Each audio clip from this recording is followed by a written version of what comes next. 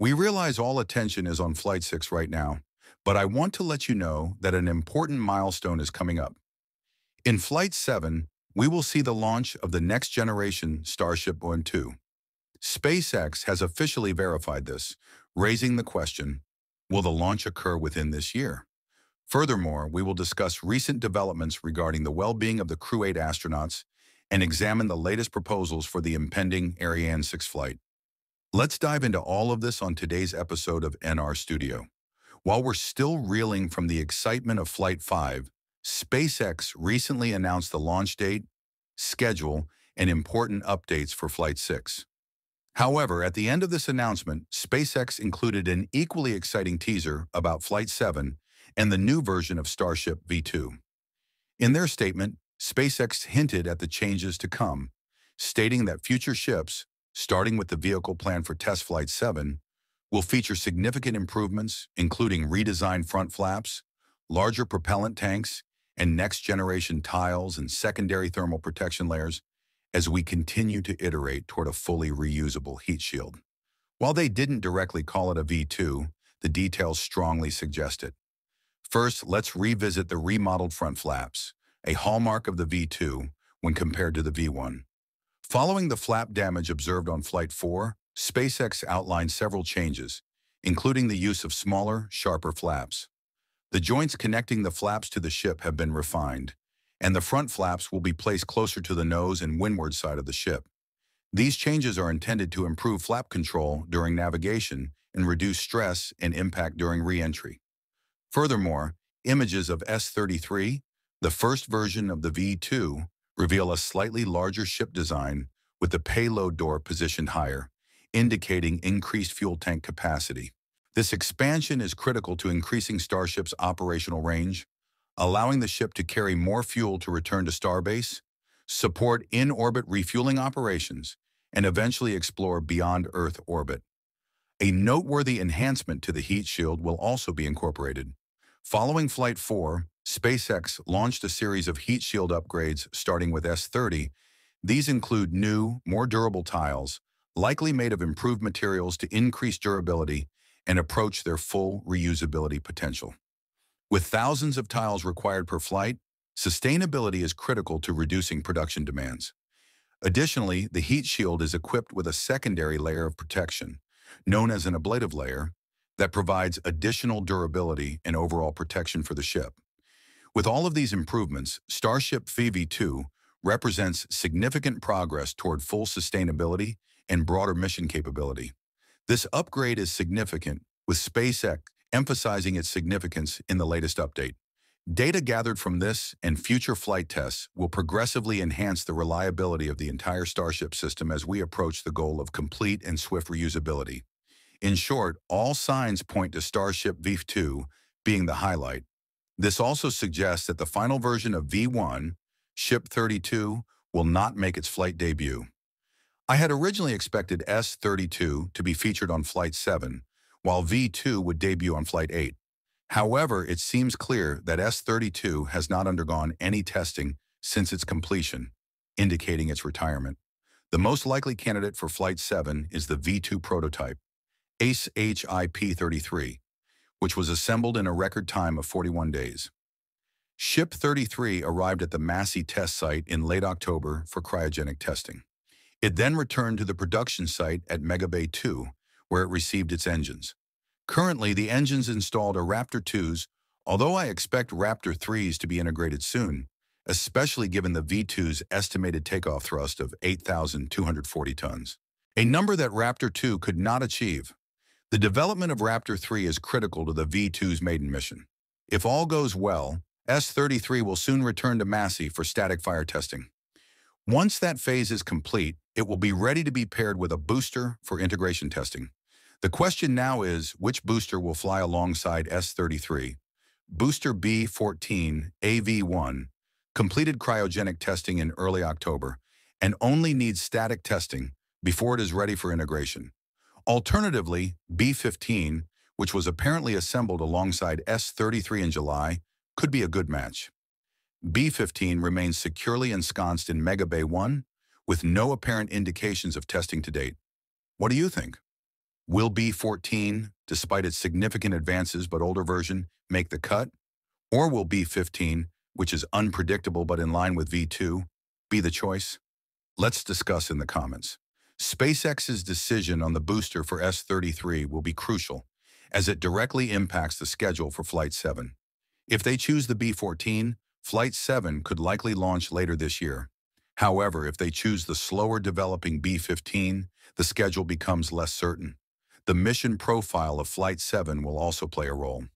Elon Musk indicated that SpaceX has set its sights on capturing the vessel the following year. If they intend to have Flight 7 perform this capture, it is likely that the mission will be pushed back until next year. However, if SpaceX wants to launch this year, it is likely that the first V2 prototype will still land in the ocean. Personally, I would prefer the prototype to land in the ocean in a more conservative manner than trying to do a direct capture. With five Starship flights this year, am I being overly optimistic? What do you think? Let me know your thoughts in the comments below. Either way, one thing is for sure, the V2 will lift off on Flight 7. Don't forget to like, share, and subscribe to stay updated on SpaceX's journey. Next, let's discuss the latest update from NASA on the health of the Crew 8 astronauts.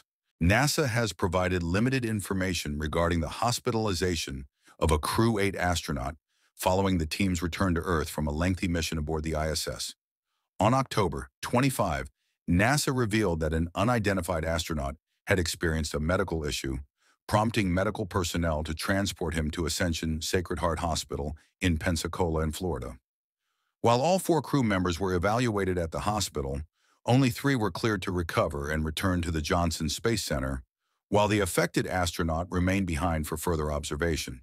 In an update on October 26, NASA confirmed that the astronaut had been released the following day and had rejoined his crewmates at Johnson Space Center.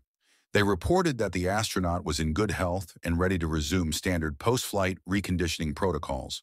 While NASA avoided disclosing the astronaut's identity or specific medical details to protect their privacy, the agency assured the public that the crew member's condition was stable and did not pose any ongoing concerns.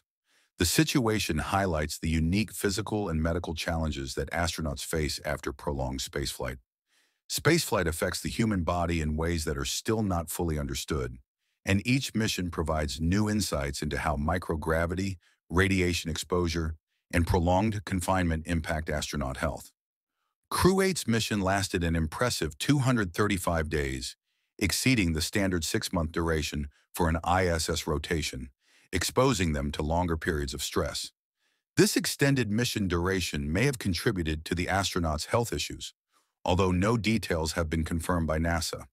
In a press conference, Crew 8 member Michael Barratt acknowledged the unexpected challenges that spaceflight can present, stating, spaceflight is still something we don't fully understand. We often find things we don't expect sometimes.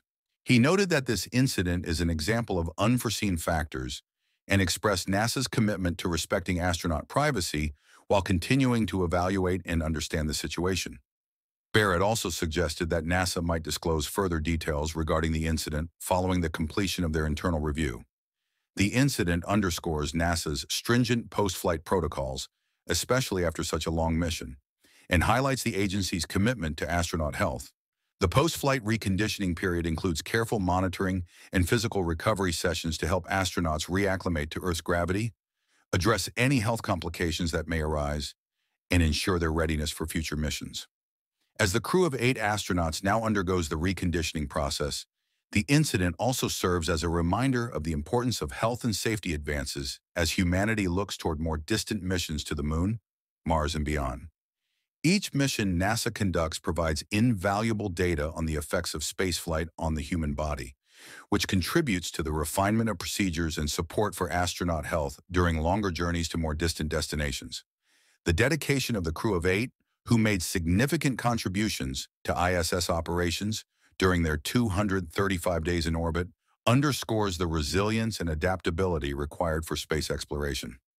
Next, let's move to Europe for an update on Ariane 6, specifically its second flight.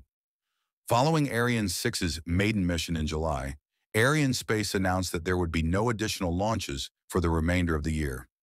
A follow-up launch was originally scheduled for December, but has now been pushed back to mid-February, with hopes of taking place early in the month. The second mission under Arianespace's direction will include the launch of the CSO-3 reconnaissance satellite for the French military, marking a significant step for the Ariane 6 program in pursuing defense-related objectives.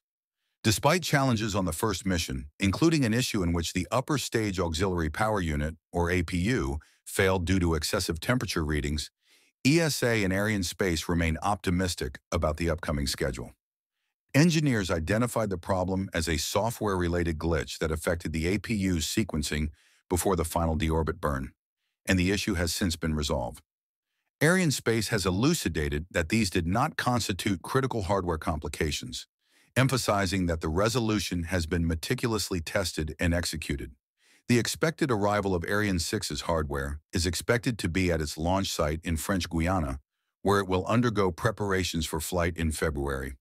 Along with the Vega-C mission's scheduled return flight on December 3rd, this milestone underscores Arianespace's plan to build momentum in the coming months.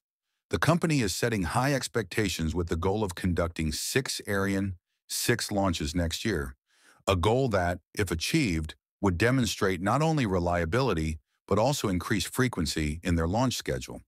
This is a bold move, and only time will tell if Arianespace can meet the ambitious launch rate for 2025, especially as they establish Ariane 6 as a reliable choice in the competitive global launch market.